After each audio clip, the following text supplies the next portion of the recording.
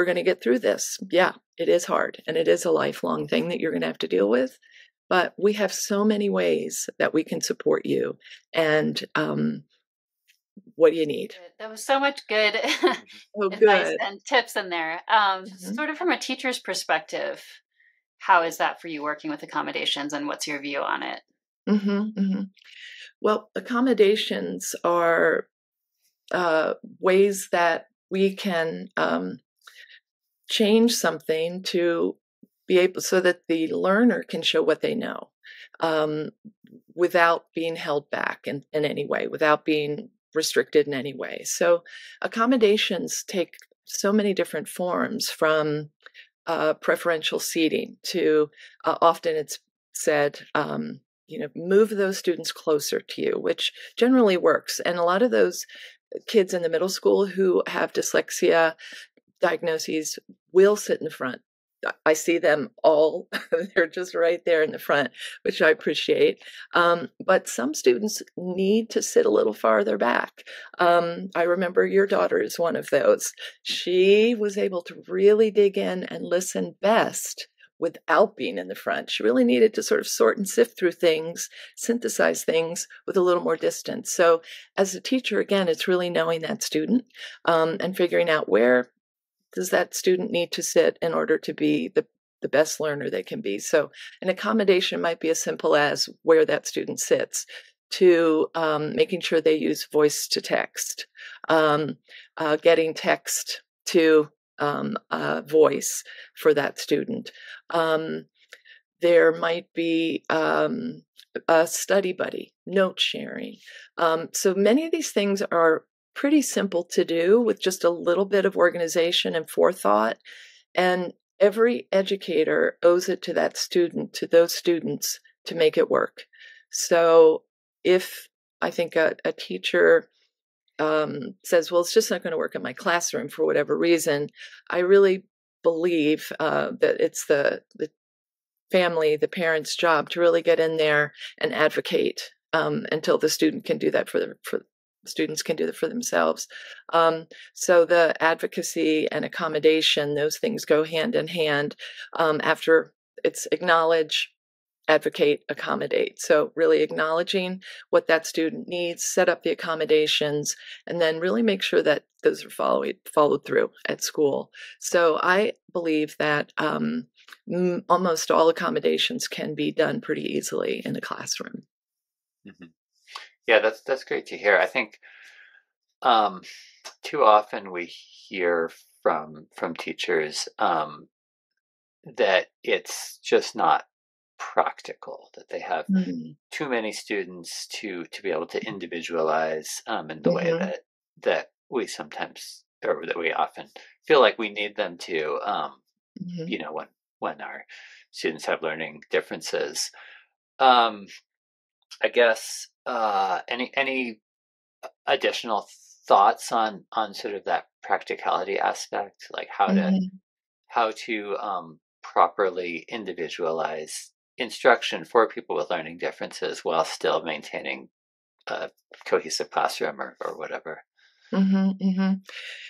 Well, it definitely is uh, a challenge, and there needs to be planning um, from the teacher, possibly a special ed educator, um, a counselor, really getting together to figure out what that student needs and then figuring out a way to make it happen. And if there are five accommodations, figuring out what the most important ones are and making sure you do those, um, which could be always voice to text, for instance. Um, that is pretty easy to do. You just need a laptop and a quiet spot. Um, and then later, as a teacher, you check in, you see how the spelling was. Did you spell check? Did you run it through Grammarly? Um, and uh, then you're having a one on one conference with that student. And it really is important for every um, student with dyslexia or a learning difference to have assessments um, uh, at least three times a year for writing and uh, three times a year for reading at least. And we're using in the middle school right now the uh, curriculum based uh, measurement CBM for writing um, writing uh, samples, um, and reading we are using DIBELS and the DIBELS maze, um, and so that gives information to the to the teacher. And I think flexible grouping is really important. So it might be hard to um, figure out how you're going to talk about uh, paragraphing with a group. The, the whole class doesn't need it, but these four students do.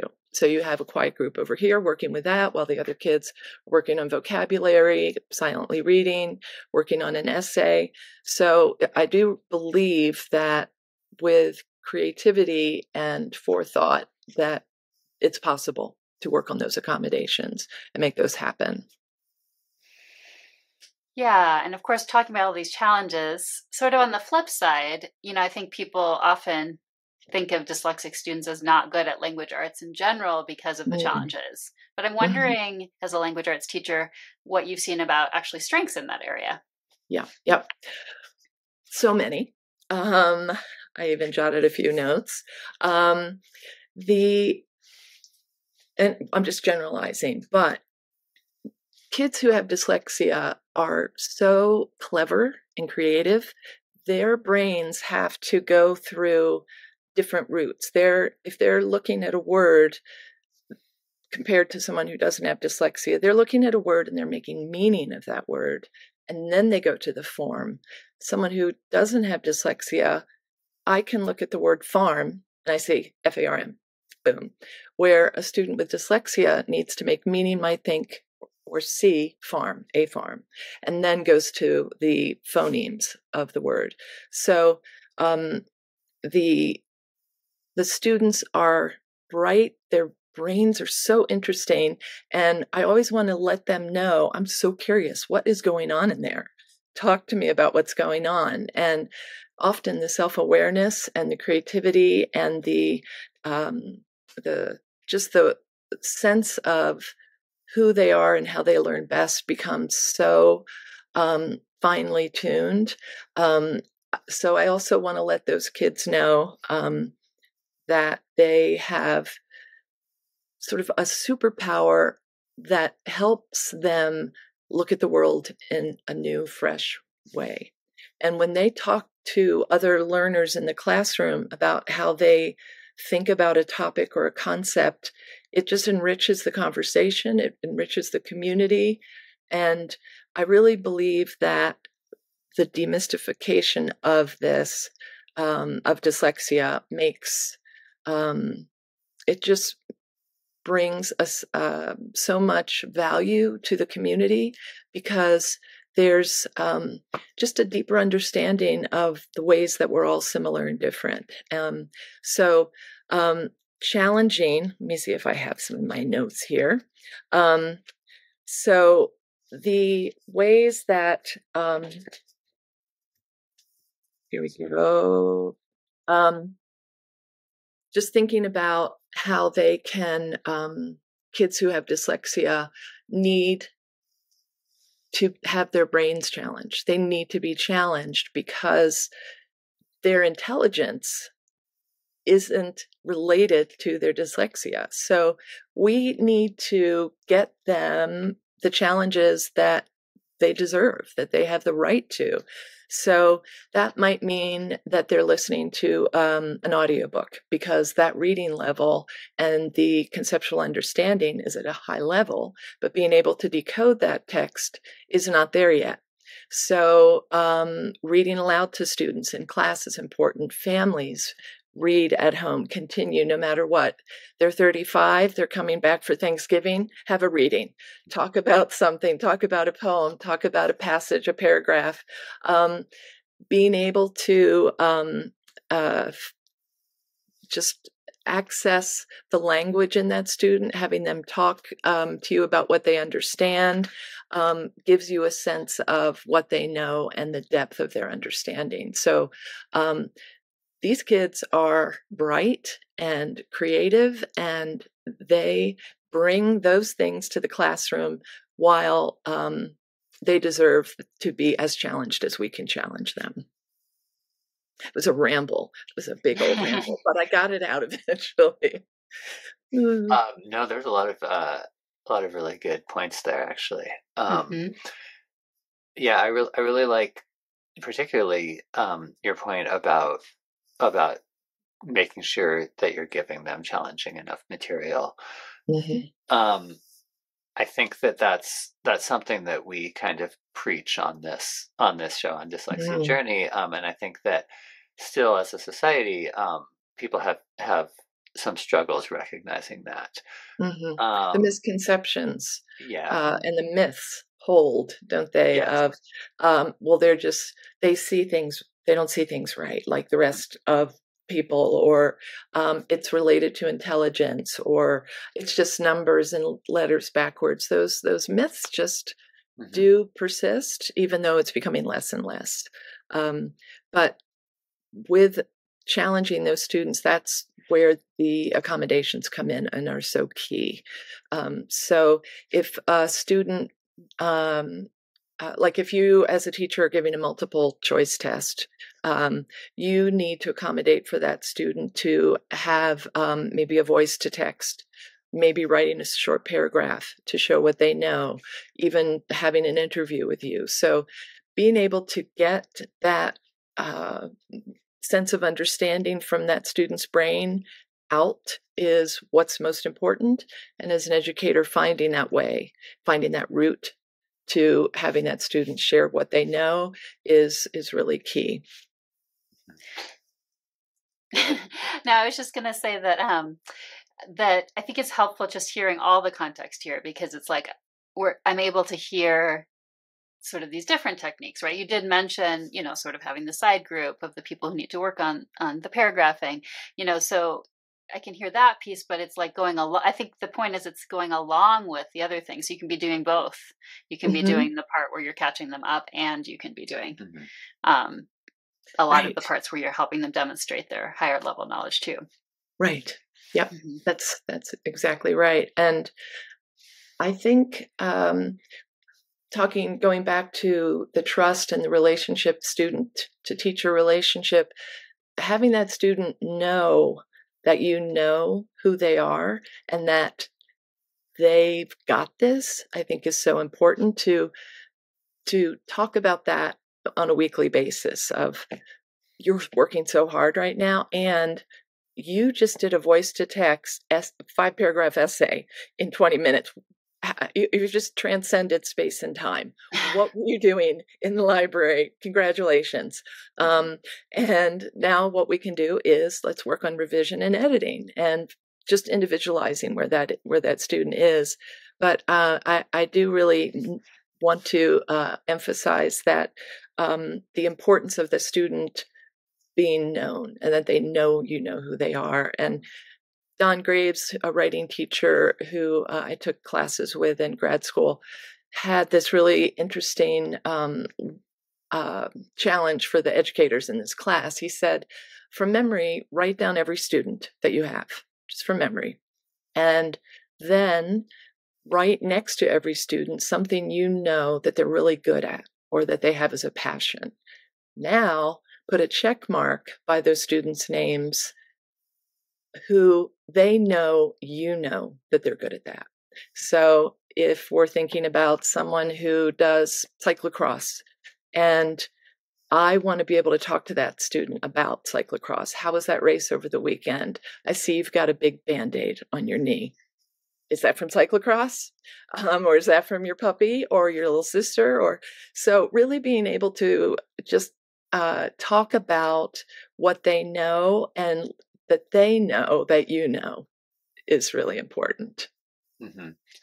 Yeah, that is that's so key. I think for um, really, really for anyone. I mean, regardless of, of learning differences. I mean, feeling seen in yeah. school um, by your teachers, um, sort of for feeling seen for for who you really are, what your interests are, what your strengths are, what your weaknesses are. I think goes so far in um, establishing trust and then and then leading to sort of positive learning outcomes mm-hmm, mm-hmm, right yep and there will be hard things and it's going to I, I want most of the time reading to be pleasurable um, while growing competency and fluency and comprehension. And then sometimes it's going to be complex and it's going to be really hard. But just communicating that we're going to work on this together, that you've got your team here. And um, I, I do believe that one of my goals as an educator is to help my students find their voice and not just writer's voice, but their their inner voice, their uh, self advocacy voice, being able to communicate if there's a conflict, being able to um, be uh, an active vocal person in the community, whether that's their family, their classroom, their school, their city, the country, the world, beyond. Um, so I think I really believe how communication is key, and I want students to be able to um, know that they can code switch and talk to a lot of different people and communicate on the page and communicate um, orally and uh, that they can do that with confidence and competency. Mm-hmm. Yeah, that's also really key, I think, for people with dyslexia um, who don't often, I think, or sometimes can feel intimidated um, mm-hmm. by speaking in school settings or in more formal settings, um, speaking and writing and just sort of expressing themselves verbally. Um, mm-hmm. Yeah. And it's important to make that link, yeah, between life skills more generally, too, mm-hmm. I think. Um, you've offered so much here with us, uh, just wisdom and insights from all your experience. I'm just wondering as we wrap up, is there anything else you'd like to share or any final words? Hmm. Um, let's see. I really uh, appreciate the opportunity that you've given me here to uh, examine my practice and to consider students I've had in the past and um, sort of dream about the students I'll have in my future. And you've helped me sort of um, redouble my belief in the importance of all the things that we've talked about accommodating, um, doing accommodations, interventions, communicating, the parent to school uh, pipeline, I'll call it, um, and the triangle of student, family, school, student, family, school. Um, so, the importance of communication and all of those stakeholders, I think, is something that I would like to leave everyone with. Don't stop talking. If you're a parent, don't stop advocating and inspire and encourage your child to work on that. Uh, upper elementary, middle school definitely can start advocating for themselves. So uh, I think just keep that communication going and don't stop until you get what your child needs. Uh, thank you. That was, All right. Yeah. Thank you. We really appreciate your um, wisdom and mm-hmm. um, and your uh, willingness to share that with with us and with our audience. Great. So Thank much you. experience, so many years of experience you're sharing with us too. So it's really helpful, mm-hmm. and I know mm-hmm. mm-hmm. audience yeah. too.